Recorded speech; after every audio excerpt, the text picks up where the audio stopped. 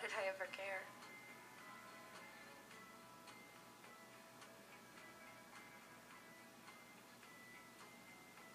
But you don't. What? You don't care what people think. You're just. you.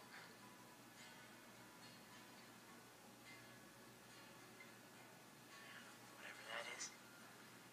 It's a good thing. Good thing.